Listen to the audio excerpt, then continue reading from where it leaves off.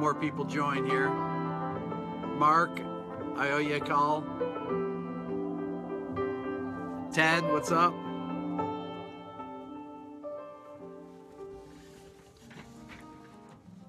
Good to see everybody. Invite your friends, hit the share button. I want to tell you about a. Uh, my my title here is um, how does music evoke emotion? And I started thinking about this yesterday. So I was I was driving home. I went to pick my kids up from school, and um, I had made a new video on uh, my YouTube channel. And for those of you that I'll do my shameless plug that haven't joined my YouTube channel, find it. It's under Rick Beato. I don't know what it is, but you can find it. You, you can find it. Just type in Google Rick Beato YouTube. You'll find it. Anyway, so I've been doing this series of. I've made 90 videos now. I think um, over the past five months, and I hit 21,000 subscribers today, which is really, really hard to believe since it's hard. You get them one at a time on YouTube. Um, you got to you got to work for it, as as some of you know that are YouTubers. Um, but anyways, I'm I'm doing this series of different for it's kind of like a film scoring series, and it's on different scales in different modes. And um, so I was doing this one on the Phrygian mode. So a lot of times I'll write little pieces, you know, one minute things or something, and I'll play them. And just like I'm doing here with you guys right now in the intro, I'm playing music and I'm just sitting here waiting that, you know, the Facebook Live builds an audience. So the kids are riding home from me and I have this little stand that I put my phone in in case I want to use my GPS or whatever. I was like, hey, made a new video. Why don't you check it out? Because I put Layla in it and I have this, my, my three year old so it was a thing where I'm playing this minute long piece based in the Phrygian mode, and uh, Phrygian mode's the third mode of the major scale. So it sounds like a really dark piece to me. The Phrygian mode is this scale, so it goes like this. It's beautiful, dark.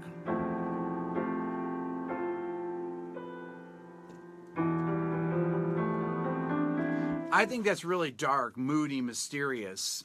I don't know if I'd call it scary, but so anyway, so I'm playing this video in the uh, or I'm playing this music that I wrote in the video, and normally I just sit there and I look kind of dumb just sitting there listening to this music, and uh, uh, so I decided to put a little video over it. So I took this slow motion video I had taken of Layla on the swings, and I kind of did the opacity where you can see through. You can kind of see me a little bit. I made it blue because it's a very blue sounding, very dark sounding mode, and I even darkened my video so that it would kind of make make the mood of, of what I think that sounds like. And really that mood of that scale is really because of the that half step in the beginning of the scale really mm. gives it that that that, that dark feel. So I play it for the kids, and I'm showing them. They can see Layla in there swinging in a slow motion, and and they said they said, "Oh, that that's really sad. That's really sad. Oh, that's happy right there." And I was like, "What do you mean it's happy?" Oh, when it's when it plays fast, it's happy. Fast is happy. And I said, "What are you talking about? Fast is happy? Why is fast happy?" Well, it is. Oh, and you played up high there. High is happy too. So it, I don't think you're really. I don't think it's really sad, Dad. Um, I think there's some happy spots in there. Yet the whole bass part is this ostinato. Ostinato means just a repeated pattern. So that's the that's the left hand pattern, and and I just think, oh, it's so dark, and and and but kids' perception because they don't have any their only perception of what something sounds like is really based on the TV shows and the movies that they watch. And then I started thinking about it. Well, that pretty much that's pretty much what informs everybody about what gives music its mood and how how it affects you personally. It's like your experiences either what a song means to you based on what happened in your life when you uh, when you heard it if there was some traumatic event or something that's associated with it or you know, if you're watching, I did a video on Bernard Herrmann, who's an old school film composer. He did all the Alfred Hitchcock movies. So there's this uh, uh, cue to the murder scene, the shower scene, um, where um, Norman Bates comes in and there's you know the slasher thing, and it's like, and it does these really dissonant clusters, and it's. And, and then I played that for the kids. I just played the music for them after, and they say, "Well, that's scary." So they've never seen Psycho, but uh, obviously they won't see Psycho until they're adults, probably. But to them, that music inherently sounded scary. The um, ju- because of the dissonances in it, because there's a lot of clusters, a lot of half steps. And when I say that, it's got you know, and then it does these, then it has these. and it's really really intense all these clusters there so that is what's what's uh you know kind of there it's shocking sounding and and when you think of it the bow the bowings are like whoop, and it's just like stabbing it's like the stabbing thing in it goes right along with the music and these real dissonances yet they've never seen it but to them that music because of those half steps sounded scary um, so there is something to this that, independent of the music, even without seeing this, that you are informed by um, by the music you're listening to. I had a song that I produced years and years ago with this band Jump Little Children, and it's called Midnight. And the story uh, of the song, and already kind kind of makes me it makes me really sad when I listen to it because the two bro- there are two brothers that were in the band. They've now dis- dis- uh, have disbanded, but it's a it's a great record. It's called Between the Dim and the Dark. It's on it's on iTunes, and and it's one of my favorite records I've ever done. But there's a song called Midnight, and the two brothers in the band had just lost their father six months before uh, we did the record, and the song is about their dad and about losing their dad, uh, and it's a really kind of heart wrenching song.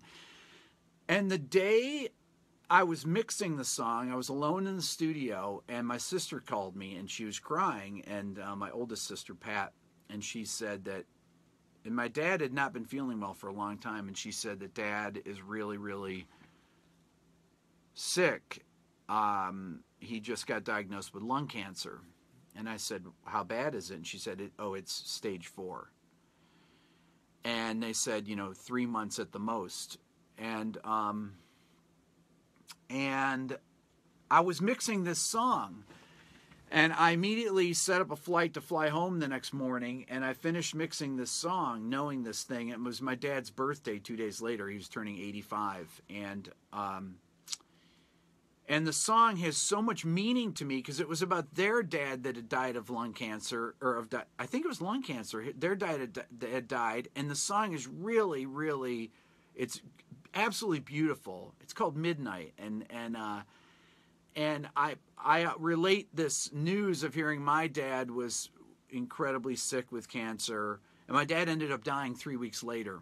I mean, it was really advanced, and um, he went from not being able to he went from driving one day to the next day he couldn't walk upstairs to the next to three weeks later he died and I was home for those three weeks, and it was, uh, it was heartbreaking. But that song has this meaning to me because of what, and all of you've had had these things that that um, music that that uh, that has an that you have an emotional attachment to based on what was happening in your life when you were hearing it.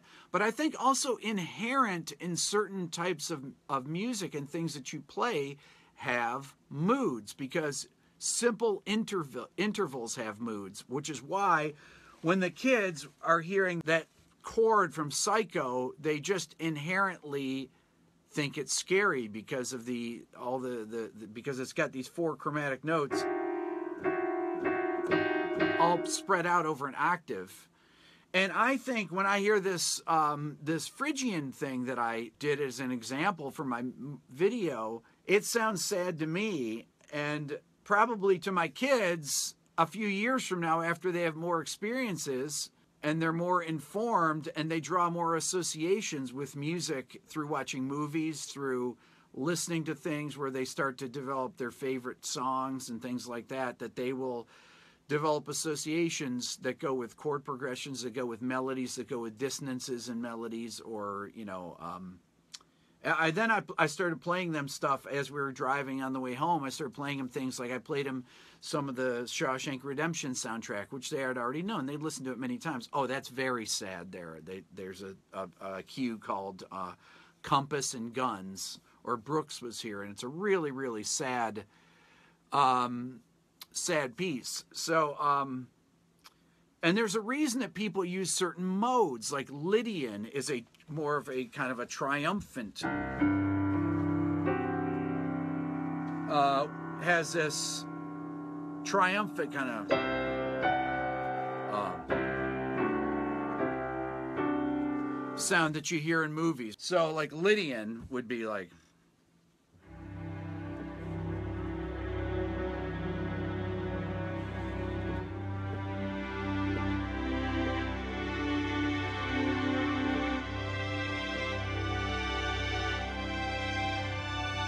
You hear Lydian in soundtracks all the time. If you hear, um, uh, if you ever saw that movie uh, or that uh,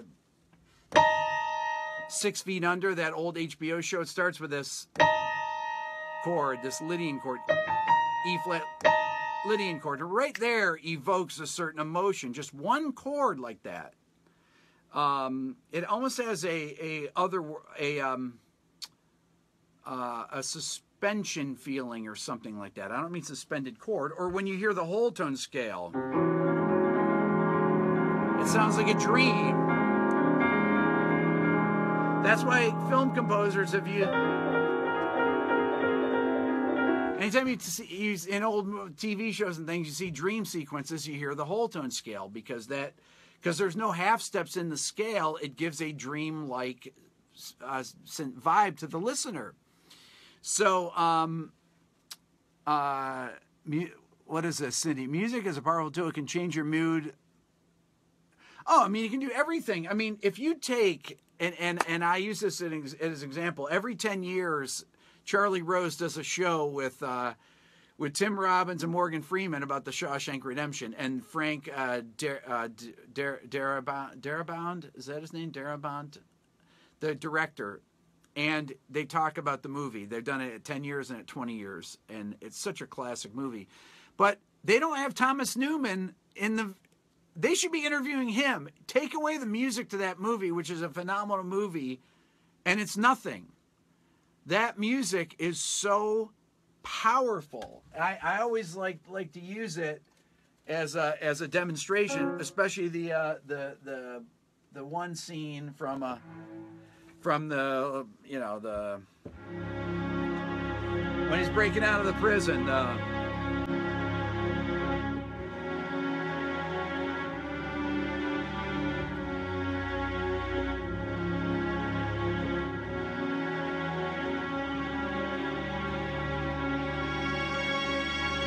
So that those chords are the D flat major to this E69 to D sus 4 to B sus2, D flat major, E69 to D Lydian is the it's the scene where he's coming through the sewer pipe to escape.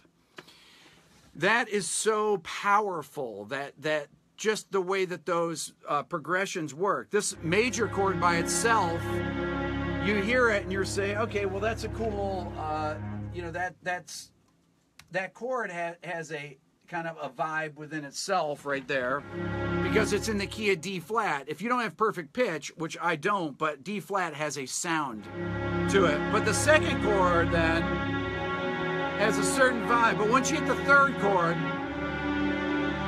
that's a D suspended four chord. That chord gives the mood to that section. Listen.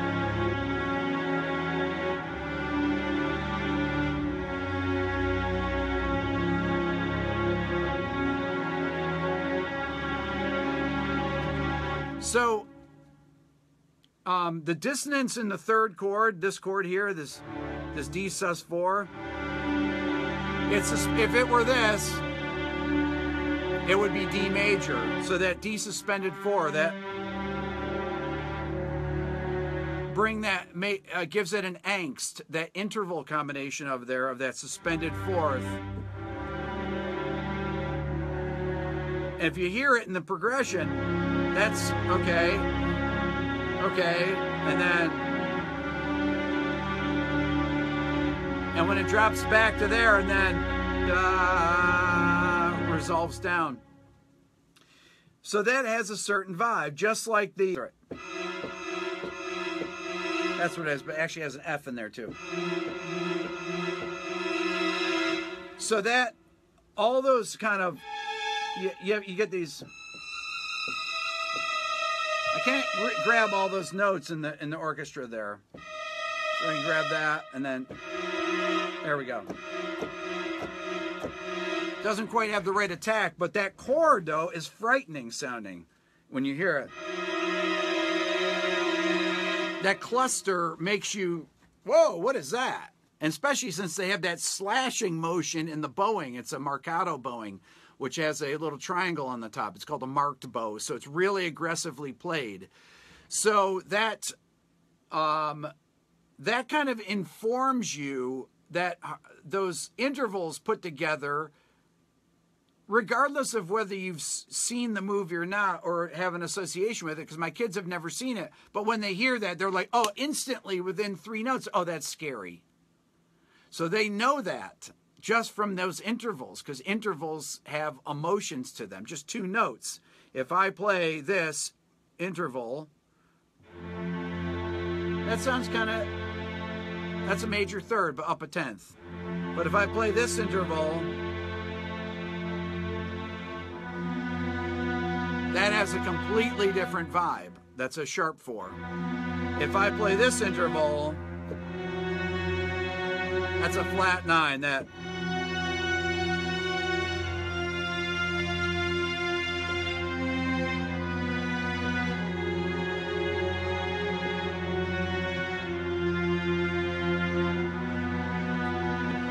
So, um, I'm just playing two notes here. If I play, I'm playing F in the bass, and I'm playing B up here in an octave.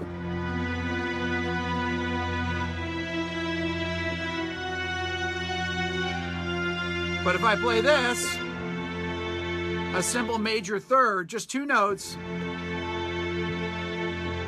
a ninth, that's nice. Sus4 wants to resolve to here. But the Lydian wants to go up. And the and I'm only playing two notes there, just in octaves. But they those intervals do inform you. When you start adding notes to them, you start to get even more information, uh, emotional information. I'm going to play you this Phrygian thing that I played for my kids, and it's it's just a piano and strings thing, but just so you can kind of hear what the vibe is.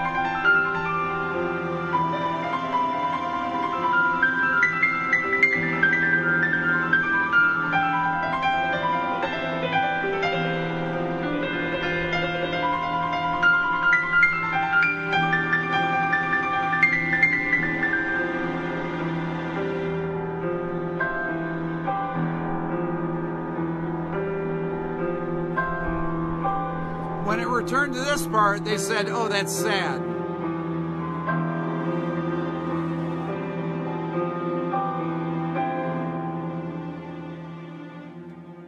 Now, I just saw an interesting comment here. I think emotions we associate with different types of harmony are largely culturally relative.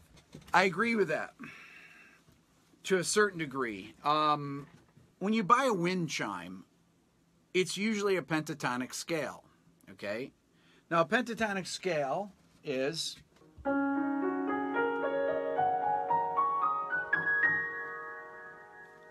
That's a pentatonic scale. It's very. And they use that in Asian music a lot. Okay, you'll. Now, the one thing about the pentatonic scale is that it has no half steps in it. And with no half steps, there is no dissonance. And with no dissonance, there is no, to me, there is no mood, there's no angst, nothing. You need to have those half steps in order to have tension because that they're actually called tensions. And the reason that there's tension is because when you play two notes together that are half step apart, there's a super fast beating that happens. I talk about this in some of my interval lectures, and I talk about it in my new ear training series that I've got coming out. By the way, I'll I'll, I'll plug this right now. I have a very involved ear training series that's that's going to be probably 12 to 15 videos that I'm going to have out in the next few weeks that I've been working on. It's it's pretty ambitious, um, but anyways, I talk about the hearing ah. the beating between certain intervals. And when I play a half step, there's a lot of beating. When I play a whole step, it's a slower beating. When I play a minor third, it's fairly stable.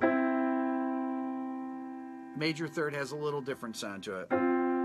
Perfect fourth, as you get into the perfect intervals, there's much more stability. So your perfect fourth, perfect fifth octave have more stability to them.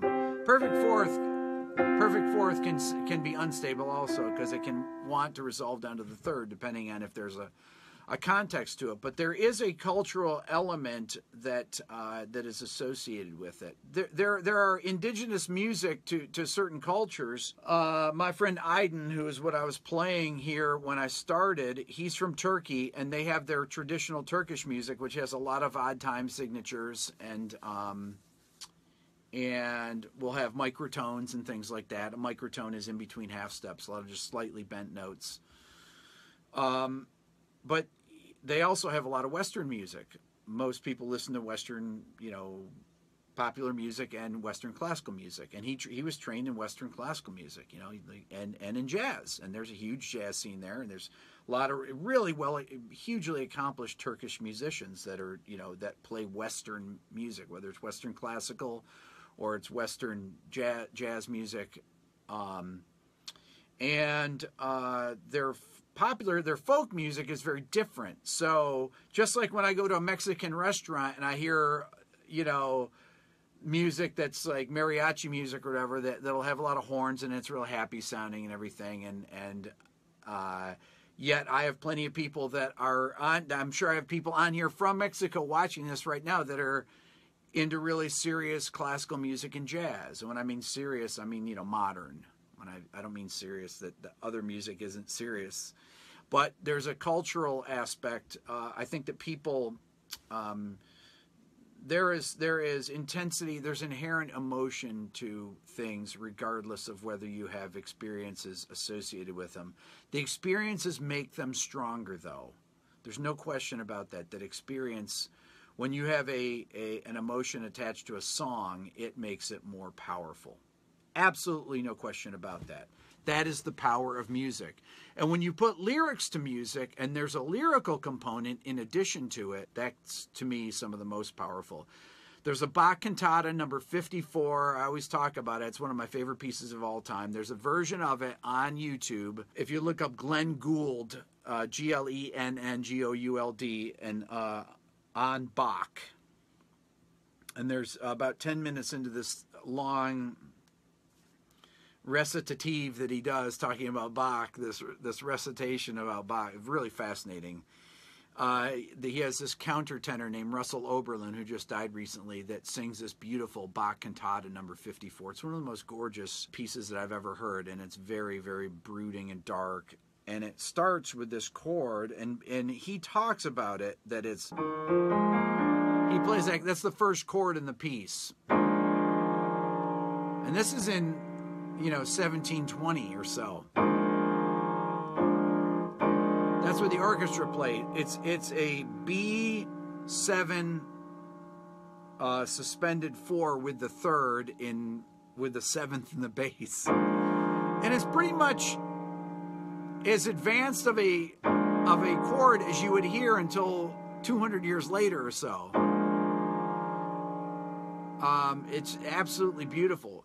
Uh, when I listen to things off the Rubber Soul and Revolver, especially Revolver record, John Lennon puts together lyrics and melodies like in I Feel Fine or Rain, which was a B side, or um, or Tomorrow Never Knows. There's this really ambiguous harmony, a lot of suspended notes, a lot of dissonances, or Norwegian Wood. Uh, a lot of dissonances in the music, and um, that Norwegian Wood is in, in E Mixolydian, and and uh, it has a very hypnotic sense to it. And the the lyrics of these songs, like when I hear "Tomorrow Never Knows" or "Rain," that's that's a really great, great, great one. Or "She Said, She Said." There we go. That's a perfect, perfect one that combines this moodiness to it and these really psychedelic lyrics that that have so much imagery to them that it just takes you to another place.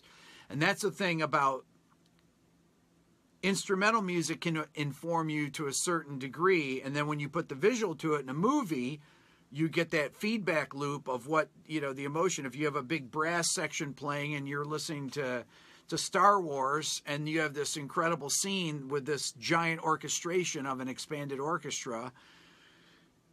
It's exciting, you know, and you hear this kind of anthemic, you know, music that has all these uh, nationalistic kind of overtones to it. It gives you a certain feeling, and you know, exciting, uplifting feeling. Or you hear the Shawshank Redemption, and you hear a more. Um, that's right.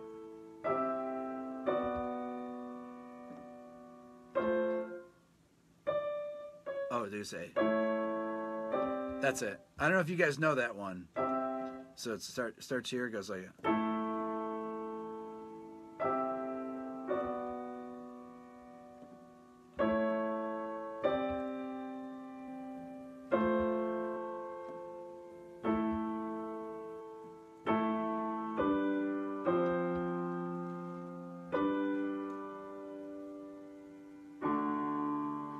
Guys know that piece? It's really beautiful. It's all through the Shawshank Redemption. It, it, they it, they do different versions of it. Uh, that, I think that that's the one that's Brooks was here or Compass and Guns, and it's orchestrated different in different parts. It's incredibly sad, and and the uh, the spread the spread triads. It starts with a just a root fifth root chord. Whoops, I'm sorry, I'm kicking my stand here, trying to get my pedal. But it starts just with a root fifth root. I have a whole video on this where I talk about the Shawshank Redemption. It's called Spread Triads on my YouTube channel, and I use this this piece.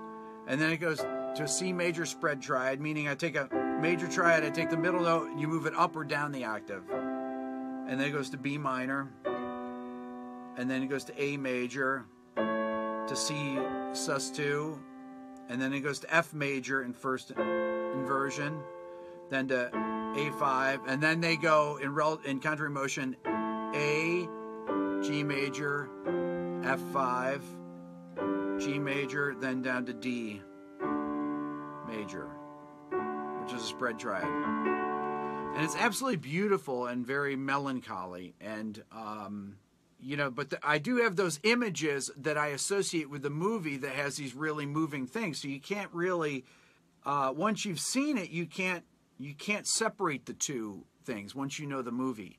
Same thing with lyrics. You can't separate the lyrics. When I hear Angie by the Rolling Stones, that's like my favorite ballad of all time. And I just have a certain feeling every time I hear it, it brings me back to the same place when I heard it 50 years ago. Um, all right, let me see what some of you people are talking about here. By the way, if you want to see some of these YouTube videos, you guys, whoever hasn't signed up for my YouTube channel, you should you should subscribe to it because it's really there's some I, I I feel like I've done some of my most inspired work other than uh, with my children um, on there, and uh, it's it's a way to uh, for me to um, to give away my ideas and um, my my the things that I've learned to people that haven't been as fortunate as I have in having the incredibly rich musical upbringing that I had through my family and through my education, and from being 54 years old as well. Um, let's see here. Somebody says here, who's Gussie? Says, really don't know how on earth I do it. I don't know how I do what, actually. I'm not sure. Uh, Sweden here, cheers. If you guys want to ask me questions, now's the time. Start typing them in. Tell me where you're from. Tell me what you want to know. If you guys are YouTube subscribers, tell me that. I'm really curious to see who, who on here is, is a YouTube subscriber and has seen any of my 90 videos. I think it's 90. I think I hit 90. I put out one in the last three days, each of the last three days, but um, I just do it in my spare time, which I have very little of after the kids go to bed. My, major and minor is a natural occurrence in the way we communicate. Martin, that is so true. You can hear psycho stabs and Jamie's got a, Janie's got a gun. Does Aerosmith do that? Psycho stabs? I did not know that. Um, can anyone name the repeat the name of the record? Between the Dim and the Dark. Um, Between the Dim and the Dark. Yes, that's neat. Uh, Jump Little Children is the band. Hello from Jordan. I'm Ed. Can I give some interval moods? I think I I think I did that actually. Darabont. That's that's Frank's name. I I couldn't. I don't know why that. Thank you, Evan, for that. Emotion is energy in motion. I like that. Music is the most powerful form of, of entertainment. Frequency is what we have. Let's see here. American Beauty without Newman is half the masterpiece. I totally agree. I don't know how. You know, this is really interesting. So, every time, I don't know if you guys have seen this Hans Zimmer commercial for his music uh, film scoring. And uh, and I always walk away from his movies now where I don't ever remember anything from them except for a couple of chords that's the thing now, I guess, in movies is like you're not supposed to have any themes that you can remember. Love to see a video on dissonance. That one is always such a big issue. Uh, that's a great idea. I'll do a video on dissonance. Do I think the reason sounds we associate with happiness, in addition, because they actually affect us in a positive, negative way? Well, you know the the the you know it's interesting when you talk about major. I think that one of the uh, things that you can't divorce from major tonalities is that the earliest chord that we get in the overtone series is the major chord, the major triad. If you strike a guitar string and you play at the 12th fret, you get the octave. You play at the 7th fret, you get the oct- you get the 5th. And then, you know, between the what was it? What is it? The 5th, 4th and 3rd fret, you get a major triad. You get you get an E major triad.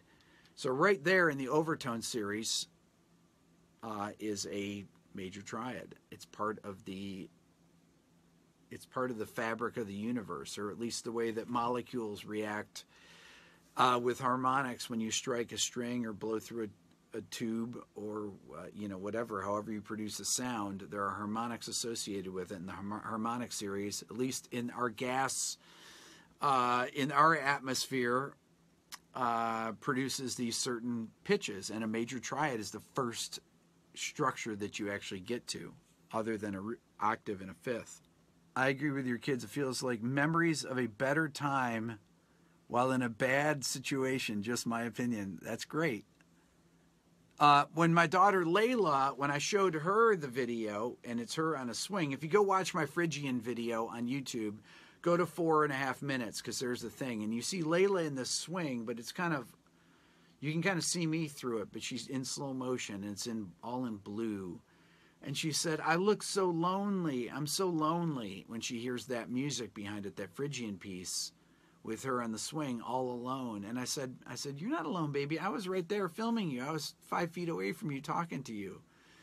But she almost got scared as if I had left her at the park by herself when she was seeing this, because I think the the music uh, had this such a melancholy feel that it actually scared her. Uh, dissonance evokes a biological response that something is wrong. Animals make noises and alarms to warn each other. Gino, that is actually extremely true. Tool references. Did somebody reference Tool and saying that they use a lot of Phrygian? I wonder if I can change the emotion reaction to certain intervals, being in charge of our own emotions and imagination. Just a thought. You know, I have certain. This is this is really interesting because I have certain chords. In D- Dylan's last video, that um, thanks to you guys and five million other people, has almost hit five million views on on this channel here, which is really really great. But somebody remarked on one of the chords that I played, and I played I played this chord. I played it in one of the, I think in my last Facebook Live, and I call this a um, well, when I play it for Dylan, I say, Dylan, sing this chord from the top down. And it's like, eh, da da da. And part of the mood of that, there's a couple things that are going on in that chord. You have this, you have this, you have this, and then you have this. But that is really the that and that. There are two dissonances there's a minor nine interval, and there's a minor second interval. When they're all played together, these ma- major second intervals disperse the, the tension and soften the tension and make it melancholy.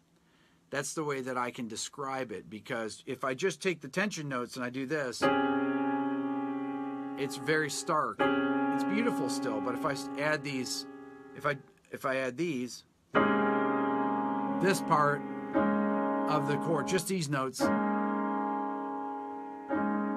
is a beautiful sound. Then if I add that there, that gives me a major seventh interval there. I'm sorry, there. And then I add that on the top, and I add this on the bottom, which gives me, or sorry.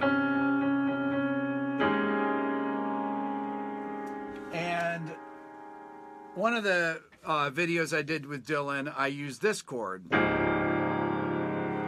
which is a D flat Lydian chord.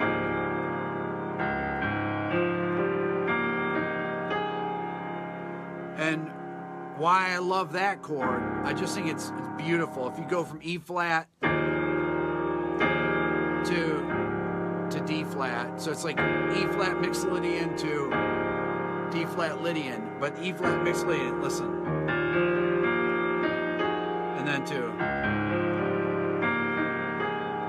It's just beautiful, beautiful, um, cinematic kind of a chord that you would hear that evokes to me. It means something to me because of the. I mean, I, I try to analyze it. Why I love the, that sound so much. I know one thing is this big fat spread triad in the bottom of it. And then you have that Lydian tri- triad right there. So you have the third and the fourth next to each other. And then this quartal structure on the top, which which give it and you have this dissonance in there too. So you have a minor nine in there. So so that whole chord has so many conflicted uh, notes in it all these conflicted, if you want to call dissonances conflicts, um, it's, uh, you know, that it's what gives it its sound. It gives it that tension. So, anyways, um, I think I will do a video on on dissonance and emotion. That's actually a great, great idea. Really great idea. So that's kind of my deal on on dissonances. There's one other thing. There's a um, if you guys have any have any things that you'd like me to do videos on for my YouTube channel, please put it in the comments here because that's a great dissonance versus emotion. Give me some good titles. Titles are good because that's I can I can I just vamp on my on my videos even here. I never prepare anything. You guys know that, right? This is all um, I set up my computer. I didn't even join. I didn't even. I forgot to ask people to join on my uh, on my pers- on my Everything Music Facebook page. Um, what is the psycho chord? Watch my video on uh, Bernard Herrmann, and I go through and I describe it note by note. Um, it's a cluster. I'm watching them, but I'm having trouble of grasping them. Glenn. You know, this is interesting. So people ask me what my purpose of my my YouTube channel is. It's it's it's um it's Khan Academy for music. I'll eventually uh, have all different. I'm gonna. I'll eventually go back and have even third grade content on. I'm gonna have to divide it up there. I don't mean third grade, but I mean I'll have beginning content as well. But it's really for professionals. It's a it's a music for it's it's videos for people that are pros, because I think that that's a, a really lacking. Um, most professionals don't know where to go uh, to pick up new ideas. They can listen to other people's music, other people's records, but most people don't have time to to keep studying. Um, you know, famous composers had composition teachers their whole lives, even if they were much more acclaimed than their teachers, things like that. Is there a harmony you can't name or that doesn't exist? Uh, probably. There, there's there's nothing I can't name, but a harmony that doesn't exist, maybe. Every thing that you hear is dependent on the atmosphere. And an old friend of mine, I've talked about this one time, about having a guitar amplifier. This is my buddy Rick's idea. And you play guitar through, and it has one sound, but then you, you have a chamber that fills it up with different types of gas, presuming that, like krypton gas, for example, would have a different overtone series. And then you play, and it's got a mic inside this this container that's filled with krypton gas and it has one overtone series. Then you fill it up with helium and it sounds completely different. And then you fill it up with whatever other kind of gas, any of the noble gases. Uh, probably not radon, that would probably be bad, but you check it out and see. Probably not hydrogen, that would be very flammable. Um, but you see what the music sounds like. So maybe music in different atmospheric conditions would have different overtone series. So maybe there are chords that we could never imagine. Uh, I am going to do a video too. One of the, I, I think, you know, I, I thought, well, I'm probably done with Dylan videos, you know, after the notation one, but I did have one other idea of a video to do with him. And it's if I divide, I've never tried this before, if I divide the keyboard 24 keys and make it one octave, so they're all um, microtones in between there. So there'd be 24 notes per octave. So it'd be all the in between notes. So if I played a note that was, you know, halfway between A and A flat, the Dylan will say A A flat. So he'll know he'll name the microtones and see if he can get the actual named tones and know which microtones are in there if I played chords. That would be a monumental brain feat it's interesting because I have people write to me all the time about this that have perfect pitch that say, I can't get those chords. I've got perfect pitch and I can only get a couple notes in the chord. How does Dylan do it? And I said, Well, he's just been doing it for years and years. And I, when he was four and I realized he had perfect pitch, I'd be like, Well, see, can you hear three note chords? Okay, that's easy. How about four note chords? Yeah. How about eight note chords? Yeah, you can hear those. Then you just start teaching them what they are. And, you know, at first, maybe he couldn't hear all eight notes, although I don't remember. I always remember him being able to hear eight notes or 10 notes or 12 notes. So um, I just kept, you know, seeing just out of curiosity. And Dylan doesn't doesn't particularly he never practices it or anything, but but um, it takes a tremendous amount of concentration to do these things that he's doing in these videos. There's harmonic analysis. There's there's the actual being able to separate the chords uh, and then analyze them and see if there's any constant structures that he can hear um, and put names to. Then I ask him to sing and write the notes down, and then there's that. So then you have to use your memory and you have to remember every note that's being writ, uh, played. Although, as you notice, I hold the sustain pedal down to aid him so that he can remind himself what tones have been played. You know, but sometimes I will do a thing where I'll play a chord like that and he'll tell me all the notes just really fast like that. Um, thanks for all the sharing. Can you talk about my monitor system? Seems like you ch- you chose to go simple, no big name or big size monitors.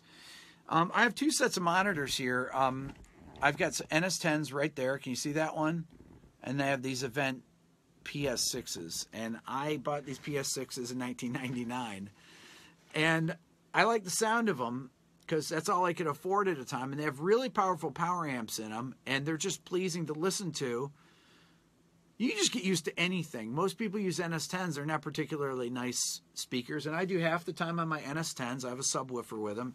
Half the time on these, whatever you get used to is what you get used to. I've also got some some little um, car radio things. I listen through my computer. I have this little um, brick thing here that I listen through a lot. It's a Sony thing that weighs a lot and it's got a subwoofer in it. It's great to check vocal levels on and things like that for mixing. Um, so whatever your interest, you know, whatever you're used to is really any advice, Ted, for guitar players beginning to use keyboards as a tool for learning harmony or recommended instrument. Um, it's a great question. Um, I'm a guitar player. I learned piano um, to teach when I started when I was a college professor, and I had a piano because growing up I never had a piano in the house. I never had a piano lesson, so I would practice my. I practice scales. I practice all types of scales. I practice arpeggios. I practice all different types of things on the on the keyboard because because it's not my it's not my normal instrument. So um so I would you know start basic and learn basic major and minor chords. And then I would learn chords with an octave at the top.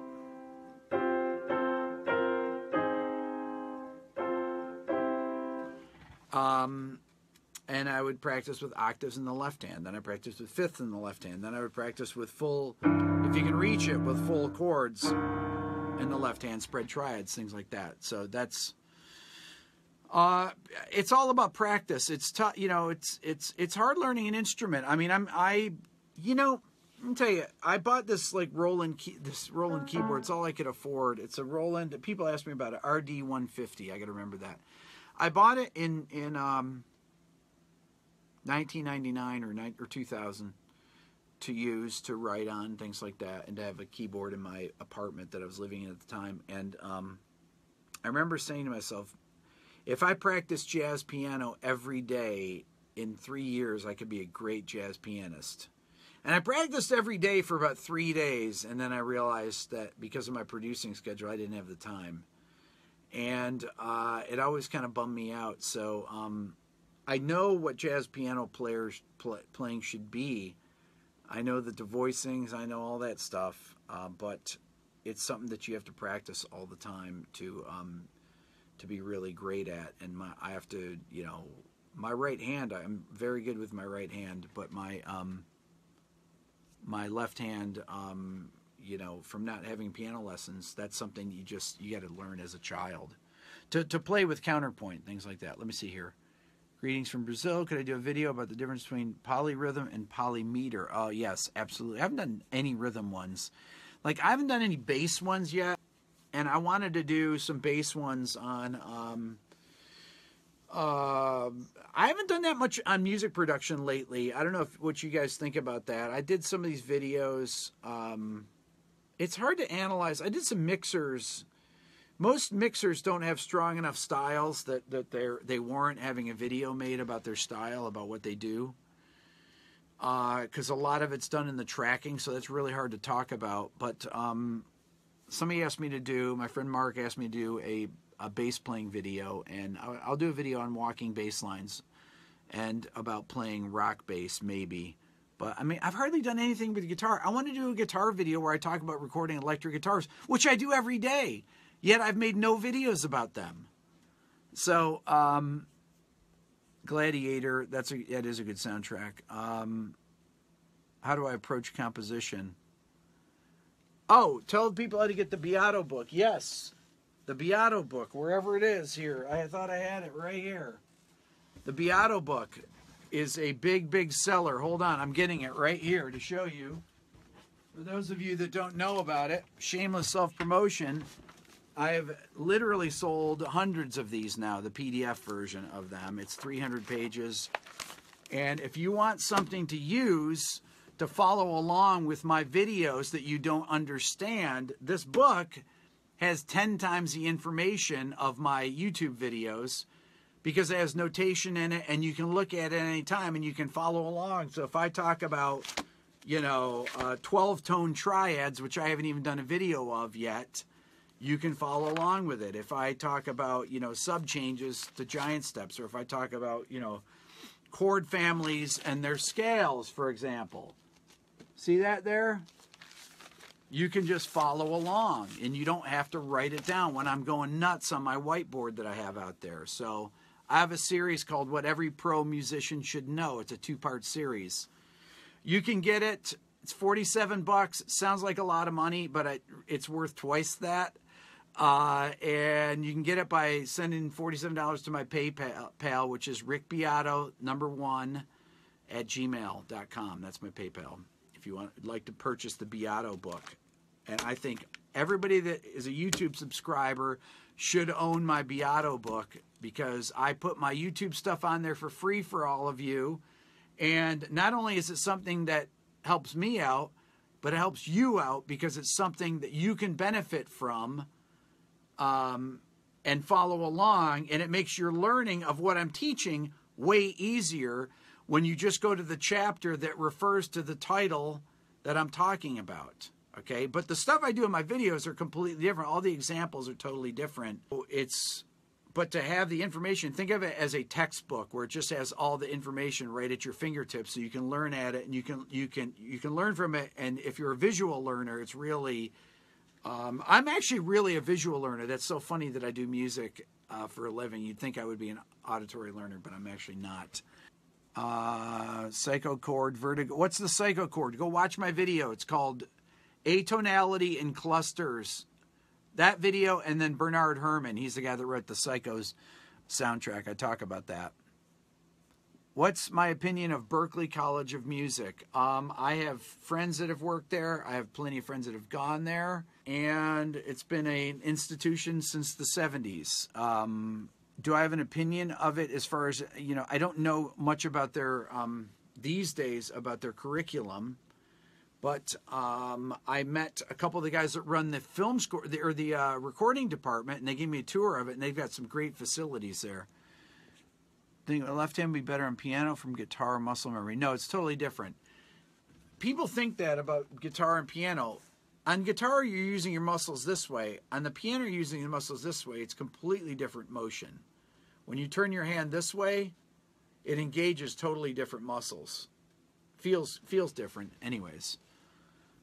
Um, Glenn Gould is rough for you. Why is he rough? Oh, his style. Oh, because he sings. Yeah mic placement, guitar videos on rhythm. Yeah. I will definitely do that. I mean, I've got I've made 90 videos. I plan to make 5,000 videos and you think I'm kidding. I will make 5,000 videos in the next few years once I'm able to do this full time. If you guys will buy my Beato book and subscribe to my YouTube channel, I'll be able to do it full time and I can just make more and more and more and more videos. Uh, T- Tony, that's a great one. Can I talk about film scoring going from full orchestra to sample libraries and DAWs? That is a great topic, actually. All right, that's it for today, everybody. I've got to uh, make a video here for YouTube. Whoever hasn't signed up to my YouTube channel, now go over and support me there and sign up.